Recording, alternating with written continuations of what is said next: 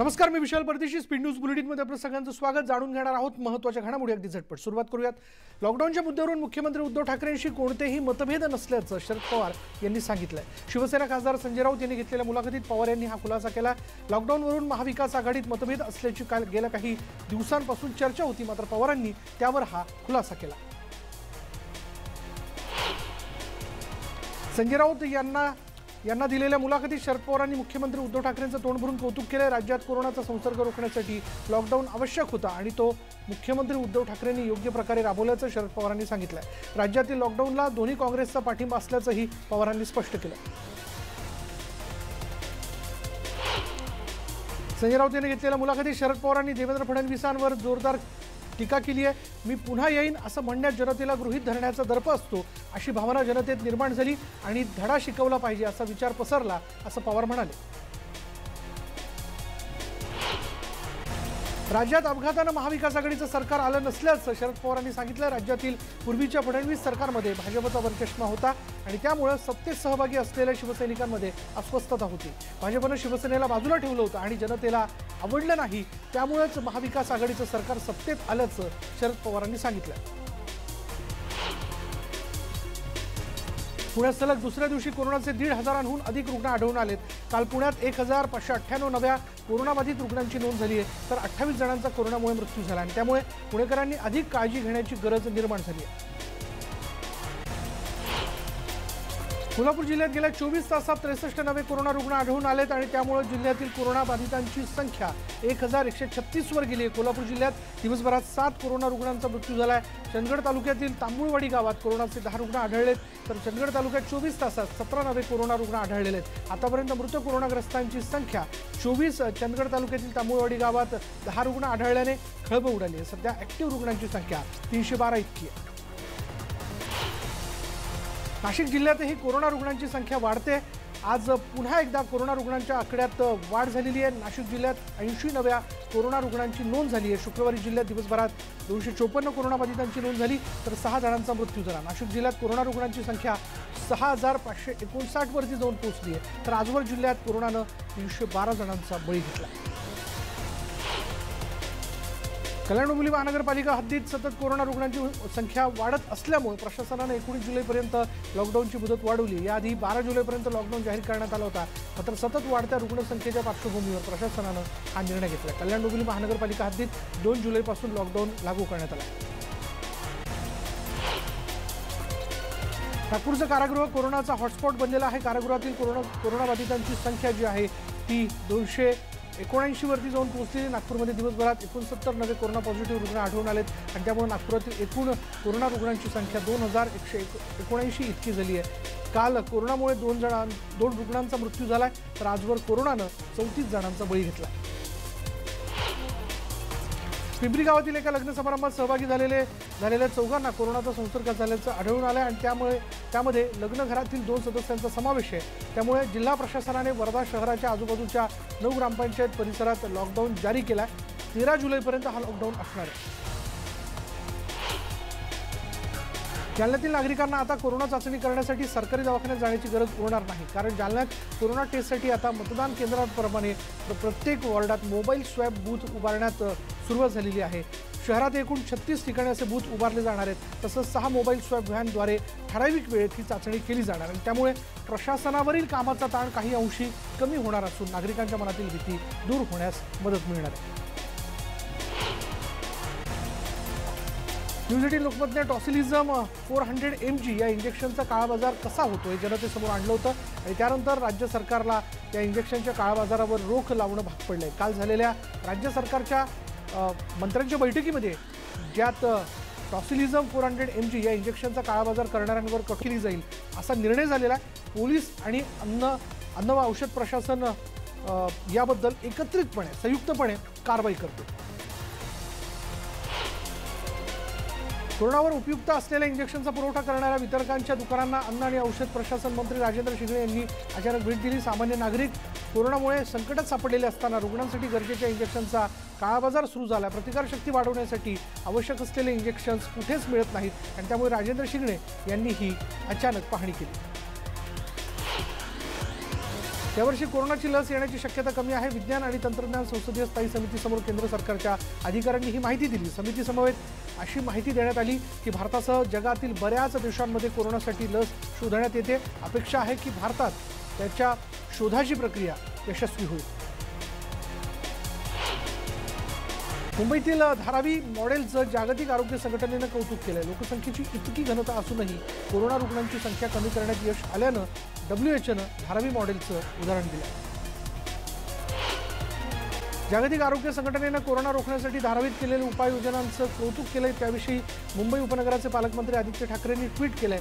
त्यामध्ये त्यांनी राज्य सरकार महापालिका आणि धारावीकरांमुळं हे शक्य झाल्याचं म्हटलेलं आहे. मुंबई मुंबईच्या धारावी परिसरात लोकसंख्येची घनता जास्त असूनही कोरोना रुग्णांची संख्या कमी करण्यात यश आल्यानं डब्ल्यू एच एनं धारावी मॉडेलचं कौतुक केलं.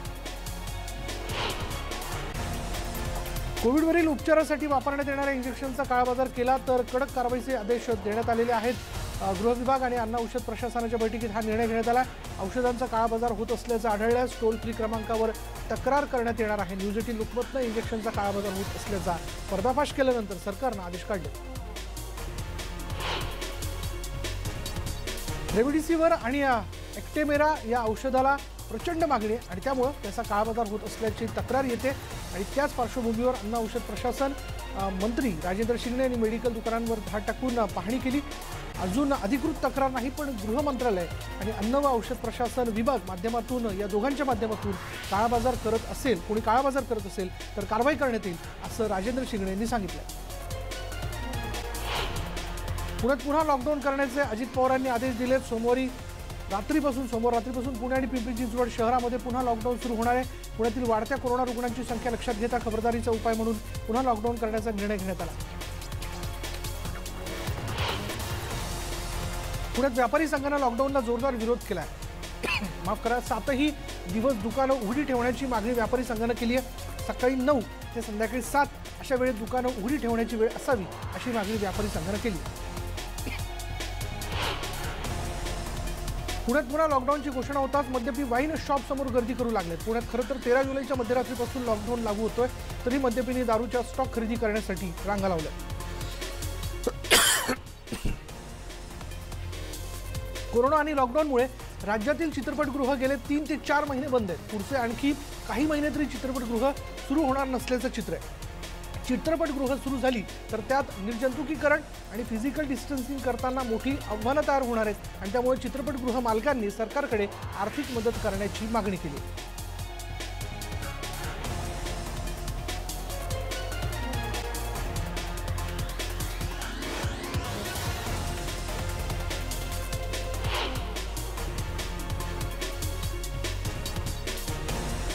ठाकरे सरकार आल्यापासून मराठी चित्रपट अनुदान समितीच गठीत केलेली नाही. फडणवीस सरकार काळात दहा कोटींचं अनुदान थकीत आहे. एकूण दोनशे रिलीज झालेल्या मराठी चित्रपटांचं परीक्षण करून त्यांना अ ब क दर्जानुसार अनुदान देणं आवश्यक आहे. जर असं नाही झाल्यास निर्मात्यांवरही आत्महत्या करण्याची वेळ येईल असं चित्रपट महामंडळाचे अध्यक्ष मेघराज राजे भोसले यांनी म्हटलं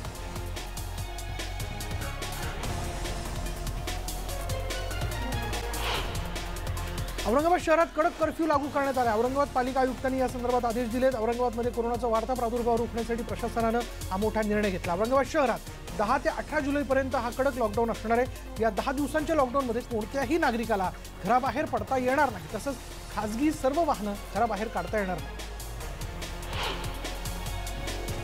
कल्याण पूर्वेतील कोळसेवाडी पोलीस स्टेशनमधील पाच पोलीस कर्मचारी कोरोनाला हरवून पुन्हा सेवेत रुजू झालेत. पोलीस कर्मचाऱ्यांनी त्यांच्यावर फुलांचा वर्षाव करत टाळ्यांच्या गजरात त्यांचं स्वागत केलं. उल्हासनगर शहरात गेल्या चोवीस तासात कोरोनाचे एकशे पंच्याण्णव नवे रुग्ण आढळून आलेत आणि त्यामुळे शहरातील कोरोना रुग्णांची संख्या तीन हजार सहाशे एकूण एकोणीसवर गेलेली आहे. शहरातील कोरोना संसर्गाची साखळी तोडण्यासाठी शहरात पुन्हा एकदा लॉकडाऊन करण्याची वेळ आली आहे. भिवंडी शहरात कोरोना रुग्णांची संख्या झपाट्याने वाढ वाढताना दिसते आणि मृत्यूचं प्रमाणही घट वाढलेलं आहे. रुग्णांना ऑक्सिजनचा योग्य पुरवठा होत नसल्याच्या तक्रारी येतात. नुकतेच शहरात शहरामध्ये एकशे छत्तीस बेडची क्षमता असलेल्या कोविड आरोग्य केंद्राचं उद्घाटन महापौर प्रतिभा विलास पाटील यांच्या हस्ते करण्यात आलं. या व्यतिरिक्त वराळ माता हॉल आणि साफिया गर्ल्स उर्दू हायस्कूलमध्ये ऑक्सिजनची सुविधा असलेलं कोविड उपचार केंद्र सुरू केलं जाणार आहे. कोरोना संसर्गापासून जिल्ह्यातील अधिकारी कर्मचाऱ्यांचा बचाव व्हावा यासाठी नागपुरात तब्बल दोन हजार चारशे अधिकारी कर्मचारी यांची अँटीबॉडी टेस्ट करून घेण्यात येते. नागपुरात जिल्हाधिकारी कार्यालयातील बचत भवन इथे या अँटीबॉडी टेस्टला सुरुवात करण्यात आली. पहिल्याच दिवशी शेकडो अधिकारी कर्मचारी यांनी स्वतःहून टेस्ट करण्याकरता गर्दी केली होती. हिंगोली जिल्ह्यातील वसमत उपविभाग आमदीमध्ये नऊ जुलै ते सतरा जुलैपर्यंत संचारबंदी लावण्यात आली आहे. यामध्ये वसमत शहर औंढा नागनाथ शहर संपूर्ण शहर जो आहे त्या आणि त्याचबरोबर ग्रामीण भागात भागाचा यामध्ये समावेश करण्यात आला आहे. कोरोनाचा प्रादुर्भाव रोखण्यासाठी विविध उपाययोजना करून देखील कोरोनाग्रस्त रुग्णांच्या संख्येत वाढ होताना दिसते. कोरोनाची साखळी तोडण्यासाठी वसमत उपविभागामध्ये संचारबंदी लावण्यात आली धुळे जिल्ह्यात कोरोनाने हातपाय पसरलेत. कोरोनाच्या बाधेतून धुळे कृषी उत्पन्न बाजार समिती ही सुटलेली नसून बाजार समितीतील हमालासह तिघांना कोरोनाची लागण झाल्याने प्रचंड खळबळ उडाली. खबरदारीचा उपाय म्हणून बाजार समितीतील सर्व व्यवहार आठवडाभर बंद ठेवण्याचा निर्णय घेण्यात आला. दरम्यान या बंदचा फटका भाजी उत्पादक शेतकऱ्यांना सर्वात अधिक बसणार आहे. सांगली जिल्ह्यातील शिराळा तालुक्यात शंभर वर्षांच्या आजोबांनी कोरोनावर मात केली आहे. सत्तावीस जूनला त्यांना उपचारासाठी रुग्णालयात दाखल करण्यात आलं होतं. उपचारानंतर त्यांची कोरोना चाचणी निगेटिव्ह आल्यानं त्यांना घरी सोडण्यात आलं. अनेक जण कोरोनाला घाबरतात. मात्र शंभर वर्षांच्या आजोबांनी कोरोनावर मात केली आहे.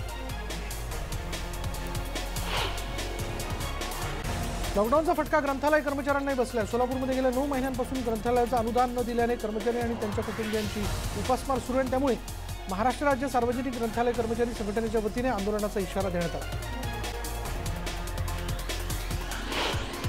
भुसावळ शहरातील कोरोना रुग्णांची वाढती संख्या रोखण्यासाठी जिल्हाधिकाऱ्यांच्या आदेशाने सात ते तेरा जुलै या काळात शहरात लॉकडाऊन करण्यात आला आहे. याच्याच उपाययोजनेचा भाग म्हणून नगरपालिकेच्या वतीनं अतिक्रमण करून व्यवसाय करणाऱ्या हॉकर्सच्या विरोधात मोठी मोहीम सुरू करण्यात आली आहे. यामध्ये भुसावळ नगरपालिकेच्या पथकाने बाजारपेठेतील अनेक दुकानं सील केली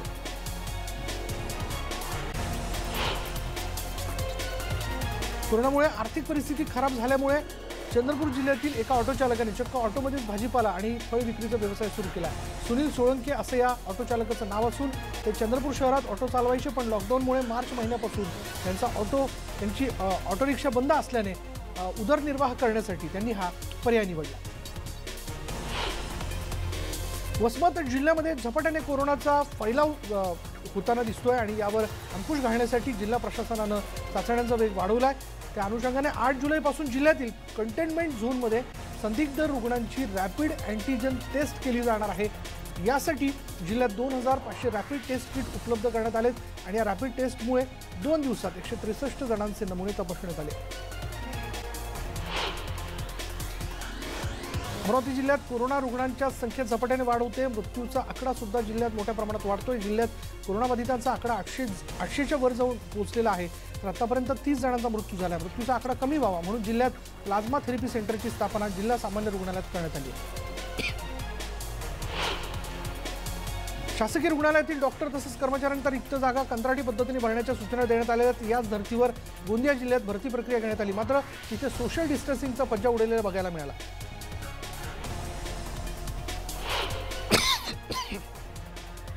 कोरोनाचा धोका वाढत असतानाच पनवेलमध्ये महापालिकेच्या शाळा क्रमांक दोनने विद्यार्थ्यांना शाळेत बोलावून पुस्तकांचं वाटप केलं शाळा सुरू करण्याबाबत कोणताही निर्णय झालेला नसताना पुस्तक वाटपासाठी शाळेने विद्यार्थ्यांना बोलवल्याने पालकांनी नाराजी व्यक्त केली. प्रशासनाने नियमानुसार पुस्तक वाटत असल्याचं यावर स्पष्टीकरण दिलं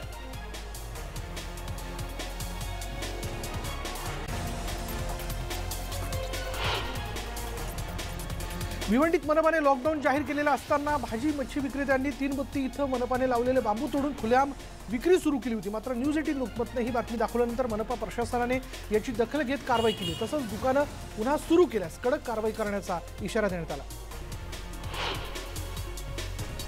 वर्षा बंगल्यावर मुख्यमंत्री उद्धव ठाकरे यांची राज्य पोलीस महासंचालक सुबोध जयस्वाल आणि मुंबई पोलीस आयुक्त परमबीर सिंग यांनी भेट घेतलेली आहे. मुंबईतील पोलीस उपायुक्तांच्या बदलीनंतर पोलीस दलातील वरिष्ठ अधिकाऱ्यांनी मुख्यमंत्र्यांची भेट घेतली.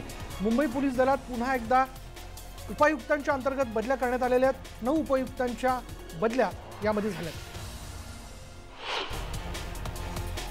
मुंबई पोलीस दलात पोलीस उपायुक्तांच्या बदल्या करण्यात आल्या तर नऊ पोलीस उपायुक्तांच्या बदल्या करण्यात आल्याचं कळतंय. रश्मी करंदीकर यांना सायबर सेल तर गणेश शिंदे यांना पोर्ट झोन नंदकुमार ठाकूर यांना क्राईम ब्रांचमध्ये नियुक्ती देण्यात आली आहे. अवैध दारू विक्री विरोधात अकोल्यातील हिवरखेड गावच्या महिला आक्रमक झाल्यात. शुक्रवारी त्यांनी हिवरखेड पोलीस स्टेशनवर धडक मोर्चा काढला. ही अवैध दारू विक्री तात्काळ बंद करण्याची मागणी या महिलांनी केली. पोलिसांनी कारवाई न केल्यास ठिया आंदोलनाचा इशारा आंदोलक महिलांनी दिला.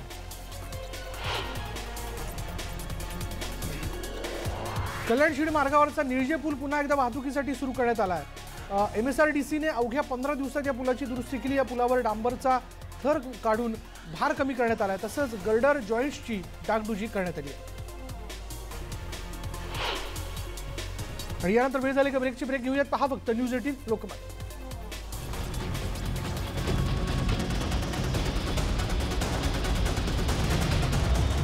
ब्रेकनंतर आपलं पुन्हा एकदा स्वागत. ब्रेकनंतर आपण बघणार आहोत इतरही घडामोडी अगदी झटपट. सुरुवात करूयात महाराष्ट्र राज्य वीज मंडळ कंपनीकडून आलेल्या वाढीव वीज आणि ग्राम वीज बिल आणि ग्रामीण भागातील असुविधा याच्या विरोधामध्ये परभणी भाजप आक्रमक झाले भाजपच्या वतीने जिंतूर रोडवर असलेल्या वीज मंडळाच्या कार्यालयासमोर आंदोलन केलं आणि यावेळी सर्वसामान्य जनतेला कंपनीकडून आलेली वीज बिलं रद्द करून दिलासा द्यावा. अशा मागण्यांसाठी ही मागणी पुढे करत भाजपच्या वतीने मोठ्या प्रमाणात घोषणाबाजी करण्यात आली. ऊर्जामंत्री डॉक्टर नितीन राऊत यांच्या निवासस्थानी विदर्भवादी नेत्यांनी वीज दर वाढ विरोधात प्रदर्शन करण्याआधीच त्यांना पोलिसांनी अटक केली आहे. यावेळी राम नवले यांनी त्यांच्यावर दडपशाही करत करण्याचा आरोप लावला. सोलापूरमध्ये शिवसेना पदाधिकारी आणि पोलिसांमध्ये बाचाबाची झाल्याची घटना घडली. पोलिसांकडून वाहन चालकांवर कारवाई सुरू होती. आणि यावेळी कामगार सेनेचे प्रदेश सरचिटणीस विष्णू कारमपुरींना फरफटत गाडीत टाकण्यात आलं आणि यामुळे हा वाद पेटला आणि बाचाबाची झाली. राष्ट्रवादीचे नेते आणि गृहनिर्माण मंत्री जितेंद्र आव्हाड यांच्या उपस्थितीत डहाणू नगर परिषदेतील चार नगरसेवकांची कार्यकर्त्यांसह राष्ट्रवादीत घरवापसी झाली आहे. या नगरसेवकांनी राष्ट्रवादीला रामराम ठोकत भाजपमध्ये प्रवेश केला होता. डहाणू दौऱ्यादरम्यान जितेंद्र आव्हाडांनी या नगरसेवक आणि कार्यकर्त्यांची भेट घेतली होती. त्यानंतर आता या कार्यकर्त्यांनी पुन्हा राष्ट्रवादीत प्रवेश केला. गडचिरोली जिल्ह्यात पंचवीस गावांना जोडणाऱ्या किष्टापूर नाल्यावरील पुलाच्या कामाला न्यूज एटीन लोकमतच्या पाठपुराव्यामुळे मंजुरी मिळाली होती. मात्र या पुलाच्या बांधकामाला माओवाद्यांचा विरोध असल्याने पुलाच्या बांधकामाच्या ठिकाणी माओवाद्यांनी जाळपोळ केली. दरम्यान बावीस गावांमधल्या पन्नास तरुणांनी पोलिसांना मदत केली. यामुळे पुलाचं बांधकाम अडथळ्याविना पार पडलंय. आज गडचिरोलीचे पोलीस अधीक्षक शैलेश बडकवडे यांनी पुलाच्या ठिकाणी जाऊन माओवाद्यांच्या दहशतीनंतरही मदतीसाठी पुढे येणाऱ्या या गावकऱ्यांचा सत्कार करून त्यांच्याशी संवाद साधला. कोल्हापूरमधील आजरा तालुक्यात टस्कर हत्तीने धुमाकूळ घातलाय. गौसे गावात पिकांचं मोठ्या प्रमाणात त्याने नुकसान केलंय. रोप लावणी करणाऱ्या शेतकऱ्यांमध्ये यामुळे घबराटीचं वातावरण निर्माण झालंय. हत्तीचा बंदोबस्त करण्याची मागणी शेतकऱ्यांनी केली. डहाणू चिखला इथे समुद्रात स्थानिक मच्छीमारांनी टाकलेल्या जाळ्यात चार समुद्री कासव अडकलेत आणि यामध्ये दोन कासवांना किरकोळ जखमा झालेल्या आहेत आणि त्यांच्यावर वाईल्ड लाईफ संघटनेच्या सदस्यांकडून उपचार करण्यात येत आहेत. भंडारा जिल्ह्याच्या लाकडी तालुक्यातील जेवणाळा इथे सर्पमित्रांनी रेस्क्यू केलेल्या जखमी घुणस जातीच्या मादी सापाने सर्पमित्राच्या घरी एकोणसाठ पिल्लांना जन्म दिला घोणसची पिल्लं पाहण्यासाठी गावकऱ्यांनी गर्दी केली होती आणि या सापाला आणि पिल्लांना जंगलात सोडलं जाणार आहे. बीड जिल्ह्याचे वनक्षेत्र हे वाढवण्यासाठी सामाजिक संस्था आणि जिल्हा प्रशासन युद्ध पातळीवर कामाला लागले आहे बीड जिल्ह्यात तीस हजार हेक्टर क्षेत्रावर हे मायावाकी पद्धतीने वृक्ष लागवडीसाठी बीड जिल्हा परिषदेने पुढाकार घेतला. यात विविध प्रकारच्या वृक्षांची एकत्र लागवड करून ते जोपासण्यात येणार आहे शिवाय त्याचबरोबर जिल्ह्यात दोनशे पन्नास जिल्हा परिषदेच्या शाळेत ही वृक्ष लागवड केली जाणार आहे. अकोल्यात षणमुगम नाथन या अवजियाने वृक्ष क्रांती करण्यास सुरुवात केली आहे. नाथनने अकोला इथून अकोटकडे बीजारोपण करत आणि सीड बॉल टाकत पदयात्रा सुरू केली. नाथनने दोन हजार पंधरापासून अकोला जिल्ह्यात एक विद्यार्थी वृक्ष एक विद्यार्थी एक वृक्ष एक जन्म एक वृक्ष ही वृक्षारोपणाची मोहीम राबवली आहे. आणि या मोहिमेला अकोला पॅटर्न म्हणून प्रसिद्धी मिळाली. आहे भारतात आणि परदेशात राहणाऱ्या भक्तांचं श्रद्धास्थान असलेल्या बाप्पांच्या उत्सवावरती कोरोनाचं सावट पसरलं आणि त्यातच निसर्ग चक्रीवादळाने गणेश कारखानदारांचे मोठं नुकसान केलं. अशा प्रतिकूल परिस्थितीत हार न मानता नव्या जोमाने कामाला लागून पेण शहरातील दीपक कला केंद्रामधून बाराशे गणेश मूर्ती दुबई थायलंड इंडोनेशिया आणि मॉरिशस इथे पाठवण्यात आल्या धुळे शहरात एका अज्ञात व्यक्तीचा दगडाने ठेचून खून झाल्याची धक्कादायक घटना समोर आली. शहरातील पांढरा नदी किनारी असलेल्या महाकाली मंदिराशेजारी एका अज्ञात व्यक्तीचा निर्गुणपणे डोक्यात दगड घालून खून करण्यात आला खून झालेल्या घटनास्थळापासून जवळच एक मोटरसायकल नदीपात्रात फेकलेली आढळून आली. पहाटे नदी किनारी मॉर्निंग वॉकसाठी आलेल्या नागरिकांमुळे ही घटना उघडकीस आली आणि या मृत व्यक्तीची ओळख पटलेली नाही. जम्मू काश्मीरच्या बारामुल्लामध्ये सुरक्षा दलाच्या पथकानं दोन दहशतवाद्यांचा खात्मा केला. हे दोन दहशतवादी बारामुल्ला परिसरात लपून बसले असल्याची माहिती सुरक्षा दलाला मिळाली. आणि त्या ठिकाणी झालेल्या चकमकीत दोन दहशतवादी ठार झाले. सध्या कोरोनाच्या संकटात अनेकांच्या हाताला काम नाहीये. मनोरंजन विश्वालाही याची झळ पोचते. अडचणीत सापडलेल्या अशा कलाकारांच्या मदतीसाठी अभिनेता वरुण धवन धावून आलाय. त्यानं दोनशे बॉलिवूड डान्सर्सच्या खात्यात मदत म्हणून काही पैसे ट्रान्सफर केले तर सोशल मीडियावर वरुणच्या या दिलदारपणाचं कौतुक होतं बंगाल चित्रपटसृष्टीतील लोकप्रिय अभिनेत्री कोयल मल्लिकला कोरोनाची लागण झाली आणि तिच्यासह तिच्या कुटुंबातील अन्य सदस्यांचाही अहवाल पॉझिटिव्ह आला कोयलने दोन महिन्यांपूर्वीच बाळाला जन्म दिला तर आपल्या कोरोना आपल्याला कोरोना झाल्याची माहिती तिनं स्वतः सोशल मीडियाच्या माध्यमातून दिली. यानंतर या बुलेटिनमध्ये इथेच थांबणार आहोत. पहा फक्त न्यूज एटीन लोकमत.